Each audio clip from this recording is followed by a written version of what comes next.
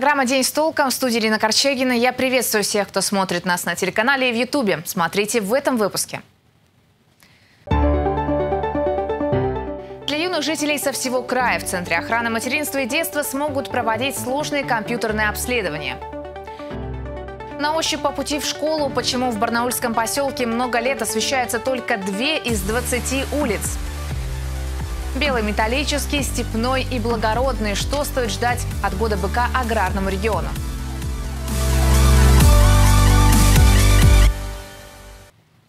Причины высокой смертности от коронавируса в Алтайском крае будут оценены на федеральном уровне. Об этом сообщил полпред президента по Сибирскому федеральному округу Сергея Миняйла во время пресс-конференции по предотвращению последствий пандемии в регионах Сибири.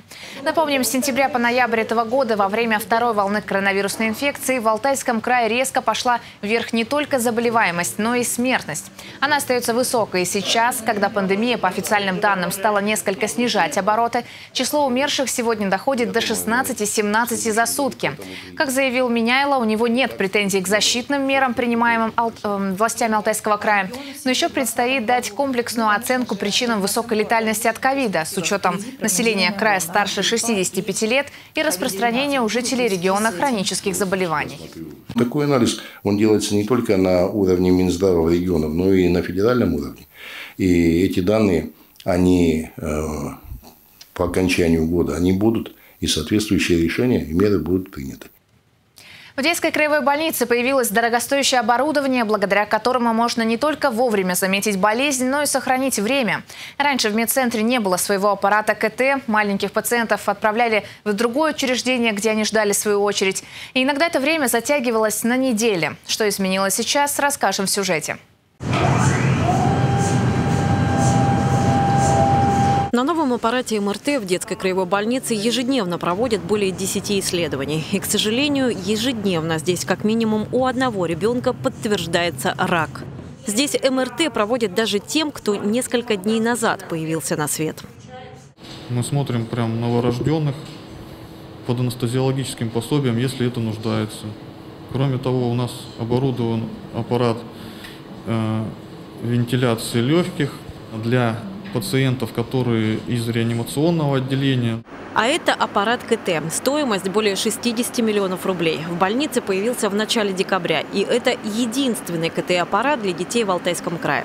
Щадящая доза препарата позволяет сделать процедуру с контрастированием безопасной для ребенка.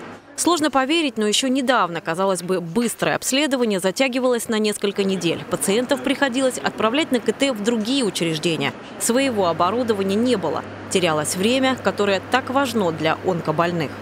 Оно позволяет более быстро произвести исследование, в отличие от МРТ. На МРТ пациент должен лежать от 20 до 40 минут, в зависимости от исследования. Здесь время сокращается на несколько минут.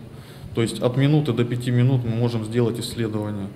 А это тоже новинка для больницы. Оборудование для реабилитации маленьких пациентов, которые в свои годы уже перенесли взрослые болезни. Инсульт, серьезные травмы. Многие из них теряют двигательные навыки, которыми когда-то владели. Спускается она вниз, видите, так и поднимается у нас вверх. Мы подняли ее вверх, все поставили, и она ходит чтобы ребенок не упал. Важно, тренировки проходят в игровой форме, что хоть как-то может поднять настроение детям на, казалось бы, скучных занятиях. И что важнее всего, скоро Соня и Андрей перешагнут порог больницы в равновесии и с твердым шагом. Елена Макаренко, Ирина Корчагина, Дмитрий Денисов. День с толком. Регионе создают Центр по борьбе с интернет-мошенниками. Новое ведомство будет заниматься проблемами кибератак и спама. Об этом сегодня на пресс-конференции заявил министр цифрового развития Евгений Зрюмов. Правда, в основном он говорил о цифровизации государственных услуг. Более 900 соцобъектов края подключат к интернету в следующем году. Региональный проект «Информационная инфраструктура» реализуется уже два года и 2021 завершающий. Особое внимание было уделено скоростному интернету в школах.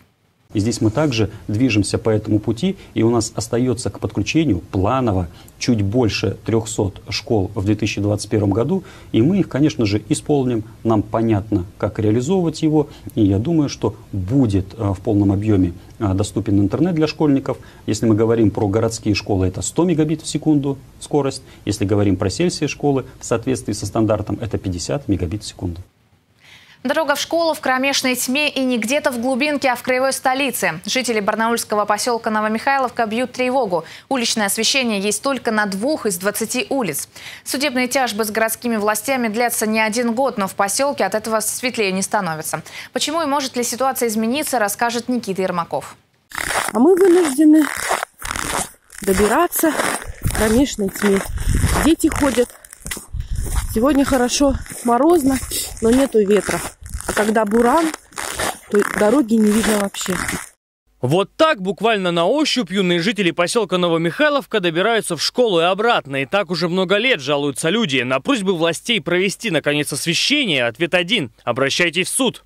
Администрация заставляет наших жителей подавать в суды, чтобы по решению суда ставили на очередь и э, э проводили свет на улице.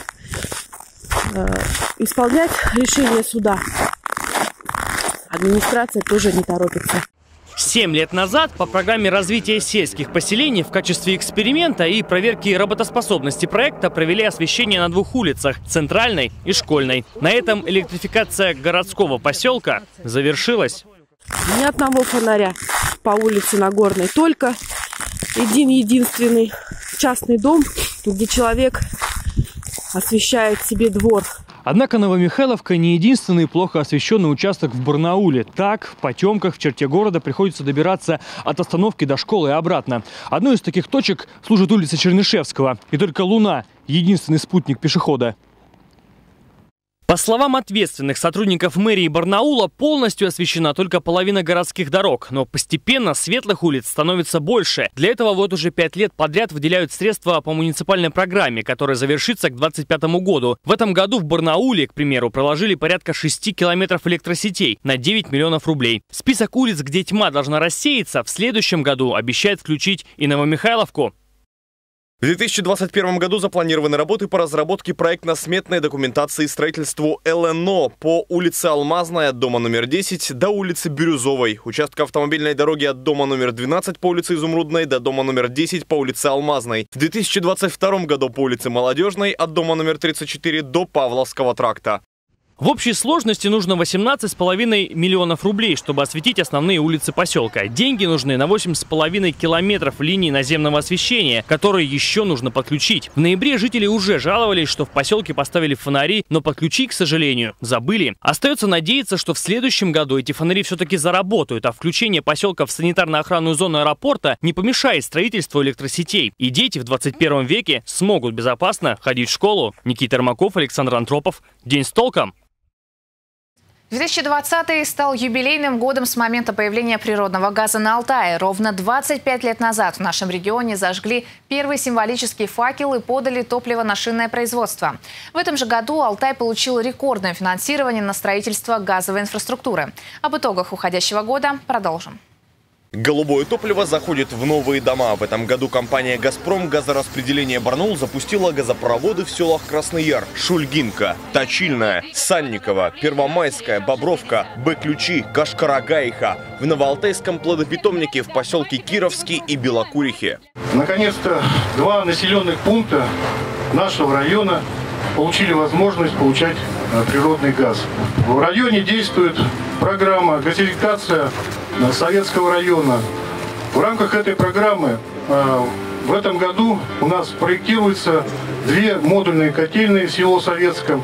И на 2021 год э, планируется проектирование тоже двух модульных котельных, это в селе Красный Яр компании уверяют, это только начало. В этом году руководство региона подписало договор с головным офисом «Газпрома» на рекордное финансирование. 59 миллиардов рублей компания инвестирует в том числе в строительство магистральных газопроводов до Ребрихи, Рубцовска и Славгорода. Освоение средств рассчитано до 2025 года. Получается, Алтайский край самый финансируемый со стороны «Газпрома» регион на ближайшие пять лет.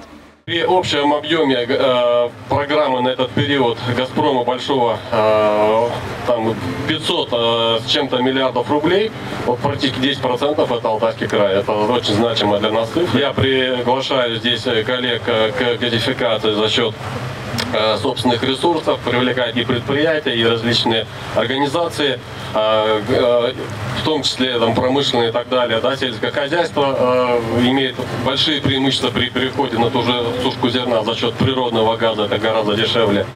Именно с подведения газа на производстве и началась газификация региона. В этом году исполнилось ровно 25 лет с момента, когда на шинном комбинате зажгли первый символический факел и газ подключили к производству на Алтае. А раньше это как на, на угольном? А да, да. И представляете, вот эти вагоны, это шли с углем. Но когда пришел нам, у нас газ, мы, конечно, вообще стали чище намного. И вообще экологически чистый поток, и все окрестности, все гораздо чище стало, воздух и все. И сейчас в уже подключенных населенных пунктах ждут новых абонентов. А тех, кто уже подключен в преддверии наступающих праздников, просят соблюдать базовые правила. Не допускать в морозы обмерзания дымоходов, не монтировать и не чинить газовое оборудование самостоятельно. А в случае утечки газа не включать электроприборы и немедленно звонить специалистам. И, конечно, своевременно вызывать профессионалов для проведения диагностики газового оборудования. Тогда праздники ничто не омрачит. Хочу пожелать жителям Алтайского края самое главное здоровья, тепла, комфорта, э, ну и движение вперед, развитие региона. Задача нашего предприятия, чтобы э, с помощью газификации, с помощью вот, э, развития газотранспортной системы регион был более привлекательный для туристов, для бизнеса, чтобы мы это все чувствовали и гордились нашим нашей Родиной малой. Рубцовск посетил руководитель Алтайского регионального отделения ЛДПР Максим Крайн. На встрече с градоначальником он обсудил проблемы города и его жителей. Руководитель регионального отделения ЛДПР Максим Крайн и его первый заместитель Даниил Бондарев прибыли с рабочим визитом в канун Нового года. Первым делом они провели встречу с главой города Дмитрием Фельдманом. На ней обсудили работу местного отделения, взаимодействие мэрии с депутатами фракции, а также возможное решение вопросов, с которыми к партийцам обращались жители Рубцовска. Встреча прошла конструктивно. Мы обсудили с главой ряд э, текущих вопросов и планы работы на 2021 год. После Максим Краин и Даниил Бондарев встретились с председателем городского совета Василием Курганским. Основной вопрос повестки – работа фракции ЛДПР в Рубцовском горсовете. Курганский оценил ее положительно. Мы поговорили о каждом депутате, мы э, договорились с ним о прямых контактах в случае необходимости, э, если я не смогу или не сумею э, порешать что-то с фракцией. Ну а самое главное, мы э, пришли к общему понятию. Фракция – это объединение, которое должно исполнять, в первую очередь, партийную дисциплину, дисциплину фракции, сессий, устав города – еще одна встреча с руководителем местной фракции ЛДПР Владимиром Овчинниковым. В центре внимания текущая работа либерал-демократов и планы фракции на 2021 год. По завершению визита Максим Краин посетил школу имени Пушкина. Всех присутствующих он поздравил с наступающим Новым годом. Детям по поручению депутата Госдумы Елены Строковой вручил новогодние подарки. В начале 2021 года в крае планируют обучать персонал гостиниц и отелей общению с иностранцами. Порядка трех тысяч зарубежных гостей Барнаул должен принять на международном турнире по гребле на байдарках и каноэ уже в мае. Об этом сегодня во время пресс-конференции сообщил начальник управления края по развитию туризма Евгений Дешевых. Он также отметил, что сфера туризма этот год пережила с большими сложностями. Так, по направлениям для иностранцев продажи туров снизились на 35-40%. Но в целом в течение года отрасль переориентировалась на развитие круглогодичного отдыха. Один из подвидов – тур выходного дня, он же City Break, который сейчас в регионе набирает популярность, продолжится развитие и зимних видов спорта, в том числе горнолыжного. Которые бы а, включали различные активности, в том числе катание и на лыжах, и на коньках, и на тройках, на снегоходах, а, зимнюю рыбалку, охоту и многое другое. Юные футболисты со всей Сибири съедутся в Бийск на предстоящих праздниках. В Новгороде пройдет традиционный рождественский мини-турнир на призы Константина Гарбуза. Несколько команд будут представлять на нем и Барнаул. На тренировке одной из них накануне побывал мой коллега Андрей Дрейер. Он оценил настрой юных спортсменов.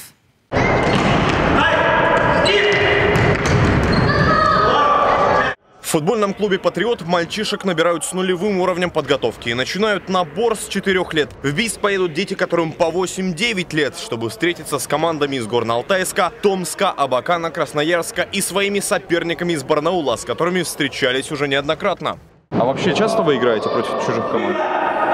Ну, сейчас да, потому что сейчас в Лиге Бро больше всего играем. У нас игры идут. Суббота, воскресенье у нас у детей игры. В темпе проходят первенство Лига Бро.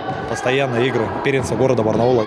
Так что дети, которым еще нет и 10, постоянно в тонусе. Плюс к тому, что почти каждые выходные ребята играют против других барнаульских команд, ездят на соревнования, они еще и проводят по несколько тренировок еженедельно. Клуб развивается, здесь готовы принимать новых детей.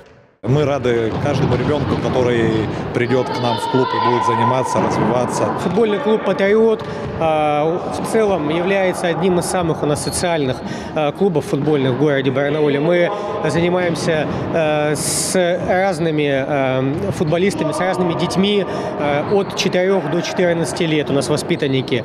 Уже в рождественские каникулы клуб будет играть на турнире по футболу на призы Константина Гарбуза. В Бийске они уже не в первый раз. Дважды привозили серебро, но еще ни разу не уезжали с первым местом. А теперь готовы дать бой. Андрей Дриер, Андрей Печоркин. День с толком. Предъявите ваши документы и новогоднее настроение. В Барнауле сегодня прошла акция «Полицейский Дед Мороз». Сотрудники ГИБДД поздравляли водителей города. Девочки, девочки, подари. Так, держи им тебя. И сегодня остановили вас не просто, чтобы проверить документы, а для того, чтобы поздравить вас с наступающим Новым годом, пожелать без, безаварийных дорог, чтобы вы также соблюдали правила дорожного движения и подавали пример для других участников дорожного движения. Водителям напомнили о необходимости пропускать пешеходов, соблюдать скоростной режим, пристегивать ремни безопасности и не употреблять алкоголь перед поездкой, тем более впереди долгие каникулы и застолья. Все, кому сегодня посчастливилось встретить полицейского Деда Мороза, получили подарки. Мы хотим этой акции поднять настроение участникам дорожного движения. А хорошее настроение – это, как правило, водитель будет вести себя на дороге аккуратней, спокойней и будет меньше аварийных ситуаций. Прощай, крыса, здравствуй, бык. Согласно восточному календарю, наступающий 2021 год пройдет под знаком белого металлического быка. Многие уверены, что особенности характера поведения этого животного отразятся и на том, каким будет следующий год. Илья Кочетков решил узнать мнение об этом у тех, кто знает все о быках не понаслышке. Знакомьтесь, барнаульский бычок Яша. Совсем недавно он был безымянным в большом стаде одного из хозяйств края. Теперь же постоялец зоопарка. И хотя бирка на ухе осталась, отныне у него есть имя собственное. Его окружают особой заботой и даже украшают. Директор зоопарка Сергей Писарев в преддверии года быка познакомился с Яшей поближе и уверяет, он идеальный бык, прямо олицетворение символа наступающего 2021 -го. Бык, обратите внимание, он спокойный, он уверенный, он э, уравновешенный. Э, это не год крысы, вот, и мне очень хочется, чтобы этот, этот год действительно был вот такой же красивый, здоровый, главное. Посмотрите на него, какой он мощный, здоровый. Это сегодня самое-самое главное.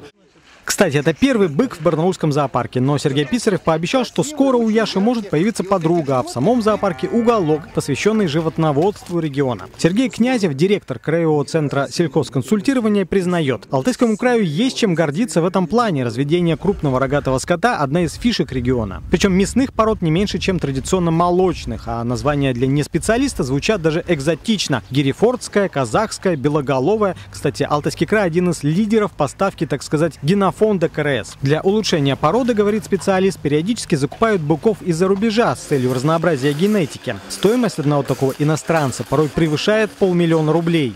Не может один папа быть на всю нашу большую алтайскую семью наших животных. Естественно, должны быть разные линии, разные направления. Край сыродельный значит, сыродельческий. Э, соответственно, большая тема на сегодня – это получать от этих быков такое потомство, которое бы, допустим, коровы давали больше выход сыра, то есть более качественно. Это очень важная, интересная тема, которая еще нам в будущем предстоит по-серьезному позаниматься. Наряду со специализацией алтайские бычки, впрочем, как и коровы, традиционно выносливые, продуктивные и, конечно, красивые. Что же до особенностей характера, специалист говорит, как любые живые существа, тысячелетия живущие рядом с человеком, их характер напрямую зависит от отношения к ним хозяина. Так что на вопрос, каким будет год быка, отвечает, это напрямую зависит уже от самих людей. Илья Кочетков, Алексей Фризин, Дмитрий Денисов. День с толком. На этом у меня все новости. Спасибо всем, кто нас смотрит не только по телевизору, но и, но и в социальных сетях. Участвуйте в обсуждениях, ставьте лайки, пишите комментарии. Ну а через несколько секунд о погоде спонсор прогноза компания «Эвалар». До встречи в эфире.